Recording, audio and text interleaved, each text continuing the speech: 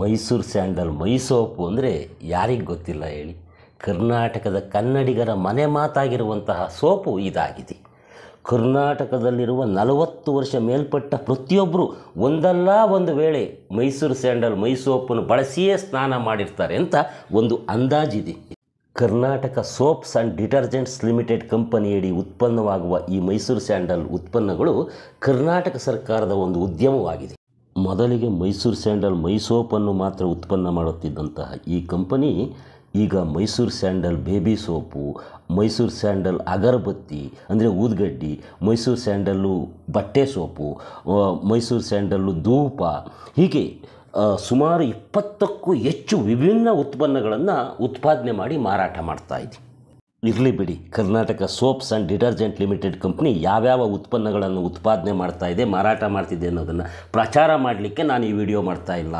Mysuru sandal soap ಹೇಗೆ ಹುಟ್ಟಿತು ಅದ್ರ ಹುಟ್ಟುವುದರ ಹಿಂದೆ ಇದ್ದ ಕಾರಣಗಳು ಏನು ಅನ್ನುವ ಭಾಳ ಇಂಟ್ರೆಸ್ಟಿಂಗ್ ಆದಂಥ ಸ್ಟೋರಿಯನ್ನು ನಿಮಗೆ ತಿಳಿಸ್ಬೇಕು ಅನ್ನುವ ಕಾರಣಕ್ಕೆ ಈ ವಿಡಿಯೋ ಮಾಡ್ತಾ ಇದ್ದೇನೆ.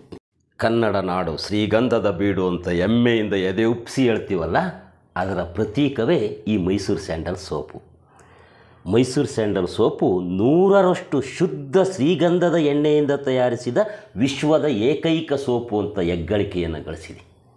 ಈ ಮೈಸೂರು ಸ್ಯಾಂಡಲ್ ಸೋಪ್ ಹುಟ್ಟಿ ಶತಮಾನವೇ ಕಳೆದಿದೆ. ಅಂದರೆ ಸಾವಿರದ ಒಂಬೈನೂರ ಹದಿನಾರರಲ್ಲಿ ಹುಟ್ಟಿದಂತಹ ಈ ಮೈಸೂರು ಸ್ಯಾಂಡಲ್ ಸೋಪು ಇವತ್ತಿಗೆ ನೂರ ಎಂಟು ವರ್ಷಗಳು ಬರೋಬರಿಯಾಗಿದೆ. ಈ ಮೈಸೂರು ಸ್ಯಾಂಡಲ್ ಸೋಪ್ ಹುಟ್ಟಲಿಕ್ಕೆ ಈ ನೆಲದ ಗುಣವೇ ಕಾರಣ ಅನ್ನೋದು ಭಾಳ ವಿಶೇಷವಾದಂಥದ್ದು. ಈ ನೆಲದ ಗುಣ ಅಂದ್ರೇನು ಈ ನಮ್ಮ ಕರ್ನಾಟಕವನ್ನು ಕನ್ನಡ ನಾಡನ್ನು ನಾವೇನಂತ ಕರಿತೀವಿ? ಕನ್ನಡ ನಾಡು ಶ್ರೀಗಂಧದ ಬೀಡು ಅಂತ ಕರಿತೀವಿ. ಈ ಶ್ರೀಗಂಧದ ಬೆಳೆ ಕರ್ನಾಟಕದಲ್ಲಿ ಹೆಚ್ಚಾಗಿತ್ತು. ಅಂದರೆ ಇಡೀ ವಿಶ್ವದಲ್ಲಿ ಅತಿ ಹೆಚ್ಚು ಶ್ರೀಗಂಧವನ್ನು ವಿದೇಶಗಳಿಗೆ ರಫ್ತು ಮಾಡ್ತಿದ್ದಂತಹ ರಾಜ್ಯ ಮೈಸೂರು ರಾಜ್ಯವಾಗಿತ್ತು. ಹೀಗೆ ರಫ್ತನ್ನು ಮಾಡ್ತಿರಬೇಕಾದ್ರೆ ಮೊದಲನೇ ಮಹಾಯುದ್ಧ ಶುರುವಾಗ್ತದೆ.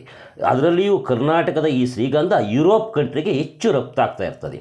ಆ ಮೊದಲ ಮಹಾಯುದ್ಧ ಶುರುವಾಗಿದ್ದರಿಂದ ಯುರೋಪ್ ಕಂಟ್ರಿಗೆ ಗಂಧದ ಕಡ್ಡಿಯನ್ನು, ಗಂಧದ ತುಂಡುಗಳನ್ನು ರಫ್ತು ಮಾಡಲಿಕ್ಕೆ ಆಗೋದಿಲ್ಲ.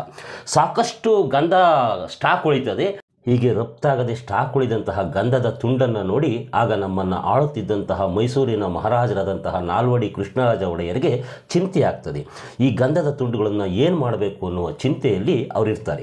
ಹೀಗಿರಬೇಕಾದ್ರೆ ಅವ್ರಿಗೆ ಒಂದು ಆಲೋಚನೆ ಬರ್ತದೆ. ನಾವು ಕೂಡ ಮೈಸೂರಿನಲ್ಲೇ ಒಂದು ಗಂಧದ ಎಣ್ಣೆಯ ತಯಾರಿಸುವಂತಹ ಕಾರ್ಖಾನೆಯನ್ನು ಪ್ರಾರಂಭಿಸಬೇಕು ಅಂತ. ಕಾರ್ಖಾನೆಯನ್ನು ಪ್ರಾರಂಭಿಸ್ತಾರೆ. ಶ್ರೀಗಂಧದ ಎಣ್ಣೆಯನ್ನು ತೆಗಿಲಿಕ್ಕೆ ಶುರು ಮಾಡ್ತಾರೆ. ಈಗಿರಬೇಕಾದ್ರೆ ವಿದೇಶದಿಂದ ಒಬ್ಬ ಪ್ರವಾಸಿಗ ಮೈಸೂರಿಗೆ ಬರ್ತಾನೆ. ಆತ ಮೈಸೂರಿಗೆ ಬಂದು ಮಹಾರಾಜರನ್ನು ಭೇಟಿ ಮಾಡಬೇಕು ಅಂತ ಹೋಗ್ತಾನೆ. ಭೇಟಿ ಮಾಡಿ ಕೊನೆಗೆ ಹಿಂದಿರುಗಬೇಕಾದ್ರೆ ಆತ ನಾಲ್ಕು ಸೋಪನ್ನು ಕೊಟ್ಟು ಮಹಾರಾಜರಿಗೆ ಹೇಳ್ತಾನೆ, ಇದು ಶ್ರೀಗಂಧದ ಎಣ್ಣೆಯಲ್ಲಿ ಮಾಡಿರ್ತಕ್ಕಂತಹ ಸಾಬೂನು ಅಂತ. ಆಗ ಇದ್ದಕ್ಕಿದ್ದಂತೆ ನಮ್ಮ ನಾಲ್ವಡಿ ಕೃಷ್ಣರಾಜ ಒಡೆಯರಿಗೆ, ನಾವು ಯಾಕೆ ಈ ಮೈ ಈ ಗಂಧದ ಎಣ್ಣೆಯಲ್ಲಿ ಸೋಪನ್ನು ತಯಾರಿಸಬಾರ್ದು. ನಮ್ಮ ಜನಸಾಮಾನ್ಯರಿಗೂ ಕೂಡ ಗಂಧದ ಎಣ್ಣೆಯ ಸೋಪನ್ನು ಹಚ್ಕೊಂಡು ಸ್ನಾನ ಮಾಡುವಂಥ ಅವಕಾಶ ಕಲ್ಪಿಸಬಾರ್ದು ಅಂತೇಳಿ ಆ ಥಾಟ್ಸ್ ಬರ್ತದೆ. ಅಂದರೆ ಒಳಹು ಬರ್ತದೆ. ಆಗ ಆಗ ದಿವಾನರಾಗಿದ್ದಂತಹ ಸರ್ವಂ ವಿಶ್ವೇಶ್ವರಯ್ಯನ ಕರೆದು ಆ ಬಗ್ಗೆ ಆಲೋಚನೆಯನ್ನು ಮಾಡ್ತಾರೆ, ಚಿಂತನೆಯನ್ನು ಮಾಡ್ತಾರೆ.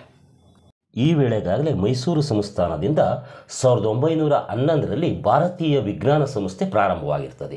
ಈ ವಿಜ್ಞಾನ ಸಂಸ್ಥೆಯಲ್ಲಿ ಸಂಶೋಧಕರಾಗಿ ಸೋಸ್ಲೆ ಗರ್ಲಾಪುರ ಶಾಸ್ತ್ರಿ ಎಂಬುವರು ಕೆಲಸ ಮಾಡ್ತಿರ್ತಾರೆ. ಇವರು ಕೈಗಾರಿಕಾ ರಾಸಾಯನ ಶಾಸ್ತ್ರಜ್ಞರಾಗಿರ್ತಾರೆ. ಈ ಸೋಸ್ಲೆ ಗರ್ಲಾಪುರ ಶಾಸ್ತ್ರಿಯವರನ್ನು ಆಹ್ವಾನಿಸಿ ದಿವಾನ್ ವಿಶ್ವೇಶ್ವರಯ್ಯನವರು ಮತ್ತು ನಾಲ್ವಡಿ ಕೃಷ್ಣರಾಜ ಒಡೆಯರು ಗಂಧದ ಎಣ್ಣೆಯಿಂದ ಸೋಪನ್ನು ತಯಾರಿಸುವ ಬಗ್ಗೆ ಚರ್ಚೆಯನ್ನು ಮಾಡ್ತಾರೆ. ಇದರ ಹೆಚ್ಚಿನ ಅಧ್ಯಯನಕ್ಕಾಗಿ ಈ ಸೋಸ್ಲೆ ಗರ್ಲಾಪುರ ಶಾಸ್ತ್ರಿ ಅವರನ್ನು ಇಂಗ್ಲೆಂಡ್ಗೂ ಕಳಿಸಿಕೊಡ್ತಾರೆ.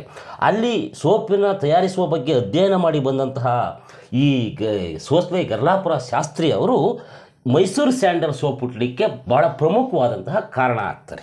ಈ ಸೋಸ್ಲೆ ಗರ್ಲಾಪುರ ಶಾಸ್ತ್ರಿಯವರು ಮುಂದೆ ಸೋಪ್ ಶಾಸ್ತ್ರಿ ಸೋಪ್ ಶಾಸ್ತ್ರಿ ಅಂತಲೇ ಪ್ರಸಿದ್ಧರಾಗ್ತಾರೆ. ಒಟ್ಟಾರೆ ನಮ್ಮ ರಾಜರಾದಂತಹ ನಾಲ್ವಡಿ ಕೃಷ್ಣರಾಜ ಒಡೆಯರು, ದಿವಾನ್ರಾದಂತಹ ಸರ್ವ ವಿಶ್ವೇಶ್ವರಯ್ಯನವರು ಹಾಗೂ ವಿಜ್ಞಾನಿ ಸೋಸ್ಲೆ ಗರ್ಲಾಪುರ ಶಾಸ್ತ್ರಿ ಅವರ ಮೂವರ ಚಿಂತನೆಯ ಫಲವಾಗಿ ಸಾವಿರದ ಒಂಬೈನೂರ ಹದಿನಾರರಲ್ಲಿ ಬೆಂಗಳೂರಿನ ಕೆ ಆರ್ ಸರ್ಕಲ್ನಲ್ಲಿ ಈ ಸರ್ಕಾರಿ ಸೋಪ್ ಕಾರ್ಖಾನೆ ಶುರುವಾಗ್ತದೆ. ಆ ಕಾರ್ಖಾನೆಯಲ್ಲಿ ಉತ್ಪಾದನೆಯಾಗುವಂತಹ ಸಾಬೂನಿಗೆ ಮೈಸೂರು ಸ್ಯಾಂಡಲ್ ಸೋಪ್ ಅಂತ ಹೇಳಿ ನಾಮಕರಣವನ್ನು ಮಾಡ್ತಾರೆ. ಆತ್ಮೀಯ ನೋಡುಗ್ರಿ ಈ ಮೈಸೂರು ಸ್ಯಾಂಡಲ್ ಸೋಪ್ ಉತ್ಪಾದನೆ ಶುರು ಮಾಡಿದ ತಕ್ಷಣ ಅದರ ಯಶೋಗಾಥೆ ಕೂಡ ಶುರುವಾಗೋದಿಲ್ಲ. ಅಂದರೆ ಸಕ್ಸಸ್ ಕೂಡ ಸಿಕ್ಬಿಡೋದಿಲ್ಲ. ಅದಿನ್ನೂ ಮುಂದೆ ಇದೆ. ಅದರ ಪ್ರಚಾರದ ಕಾರ್ಯತಂತ್ರ, ಅದರ ವಿನ್ಯಾಸ ಇನ್ನೂ ಬಹಳ ವಿಸ್ತಾರವಾಗಿದೆ. ಅದನ್ನು ಹೇಳ್ತೀನಿ. ಅದಕ್ಕೆ ಮುಂಚೆ ಇಲ್ಲಿವರೆಗೂ ನೋಡಿದಂತಹ ಈ ವಿಡಿಯೋ ಇಷ್ಟವಾಗಿದ್ದರೆ ಮುಂದೆ ನೋಡೋಕ್ಕೆ ಮುಂಚೆ ಈ ವಿಡಿಯೋಗೊಂದು ಲೈಕ್ ಮಾಡಿ. ಹಾಗೆ ನೀವು ನೇಟಿವ್ ನೆಸ್ಟ್ ಯೂಟ್ಯೂಬ್ ಚಾನಲ್ಗೆ ಸಬ್ಸ್ಕ್ರೈಬ್ ಮಾಡ್ಕೊಳ್ದೇ ಈ ವಿಡಿಯೋ ನೋಡ್ತಿದ್ರೆ ಈಗಲಾದರೂ ಸಬ್ಸ್ಕ್ರೈಬ್ ಮಾಡ್ಕೊಂಡು ವಿಡಿಯೋ ನೋಡಿ. ಹಾಗೆ ಈ ವಿಡಿಯೋ ಬಗ್ಗೆ ನಿಮಗೆ ಅನಿಸಿದ್ದನ್ನು ಕಾಮೆಂಟಲ್ಲಿ ತಿಳಿಸಿ. ಈ ವಿಡಿಯೋ ನಿಮಗೆ ಹೆಚ್ಚು ಇಷ್ಟವಾಗಿದ್ದರೆ ನಿಮ್ಮ ಸ್ನೇಹಿತರಿಗೆ ಕೂಡ ಶೇರ್ ಮಾಡಿ ಕಳಿಸಿ, ಅವರು ಕೂಡ ನೋಡಲಿ.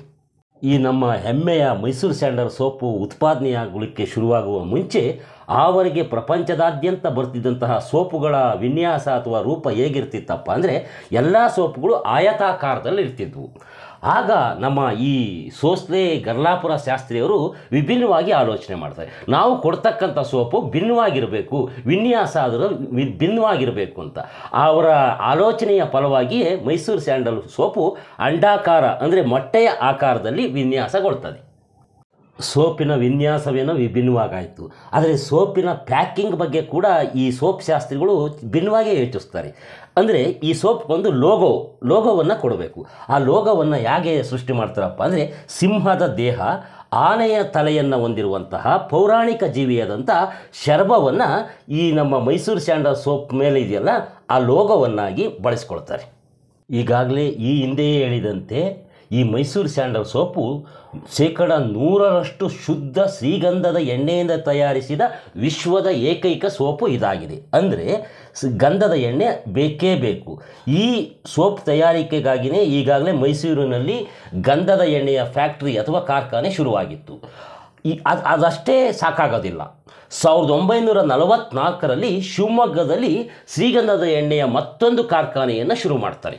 ಅಂದರೆ ಈ ಸೋಪ್ ತಯಾರಿಕೆಗೆ ಬೇಕಾದಂಥ ಶ್ರೀಗಂಧದ ಎಣ್ಣೆಗೆ ಮತ್ತೊಂದು ಫ್ಯಾಕ್ಟ್ರಿಯನ್ನು ಶುರು ಮಾಡಬೇಕಾಯಿತು ಅಂದರೆ ಈ ಮೈಸೂರು ಸ್ಯಾಂಡಲ್ ಸೋಪಿನ ಬೇಡಿಕೆ ಎಷ್ಟಿತ್ತು ಅನ್ನೋದನ್ನು ಇದು ಸೂಚಿಸ್ತದೆ ಈ ಬೇಡಿಕೆ ಈಗ ಹೆಚ್ಚಾಗಲಿಕ್ಕೆ ಕಾರಣ ಏನಪ್ಪ ಅಂದರೆ ಪ್ರಚಾರದ ವೈಖರಿ ಕಾರಣ, ಜಾಹೀರಾತು ಕಾರಣ. ಆಗ ಈ ಮದ್ರಾಸ್ನಿಂದ ಪ್ರಕಟವಾಗ್ತಿದ್ದಂತಹ ಇಂಗ್ಲೀಷ್ನ ಜಸ್ಟಿಸ್ ಪತ್ರಿಕೆ ಕೂಡ ಈ ನಮ್ಮ ಮೈಸೂರಿನಿಂದ ಮೈಸೂರು ಸ್ಯಾಂಡಲ್ ಸೋಪ್ನ ಜಾಹೀರಾತನ್ನು ಕೊಡ್ತಾರೆ. ಅಷ್ಟೇ ಅಲ್ಲ ಕರ್ನಾಟಕದಿಂದ ಇವತ್ತಿನ ಪಾಕಿಸ್ತಾನದಲ್ಲಿರುವಂತಹ ಕರಾಚಿಯವರೆಗೆ ಒಂಟೆಯ ಮೇಲೆ ಈ ಮೈಸೂರು ಸ್ಯಾಂಡಲ್ ಸೋಪ್ನ ಮೆರವಣಿಗೆ ಮಾಡಲಾಗ್ತದೆ ಅಂತ ಹೇಳಲಾಗ್ತದೆ. ಈ ಎಲ್ಲ ರೀತಿಯ ಜಾಹೀರಾತು ಪ್ರಚಾರದಿಂದ ದೇಶ ವಿದೇಶಗಳಲ್ಲಿ ಮೈಸೂರು ಸ್ಯಾಂಡಲ್ ಸೋಪಿನ ಕಂಪು ಹರಡ್ಲಿಕ್ಕೆ ಶುರು ಮಾಡ್ತದೆ. ಸಾವಿರದ ಒಂಬೈನೂರ ಅರವತ್ತೈದರಲ್ಲಿ ವಿದೇಶಗಳಿಗೂ ಕೂಡ ಈ ಸೋಪು ರಫ್ತಾಗ್ಲಿಕ್ಕೆ ಶುರುವಾಗ್ತಿದೆ. ಅವತ್ತಿನಿಂದ ಇವತ್ತಿನವರೆಗೂ ಕೂಡ ವಿದೇಶಗಳಿಗೆ ಈ ನಮ್ಮ ಮೈಸೂರು ಸ್ಯಾಂಡಲ್ ಸೋಪು ರಫ್ತಾಗ್ತಿದೆ. ಅಲ್ಲದೆ ಭಾರತದ ಅತಿ ದೊಡ್ಡ ಸೋಪ್ ಕಂಪನಿ ಎಂಬುವ ಹೆಗ್ಗಳಿಕೆ ಕೂಡ ಇವತ್ತಿಗೂ ಕೂಡ ಮೈಸೂರು ಸ್ಯಾಂಡಲ್ ಸೋಪಿನದ್ದೇ ಆಗಿದೆ.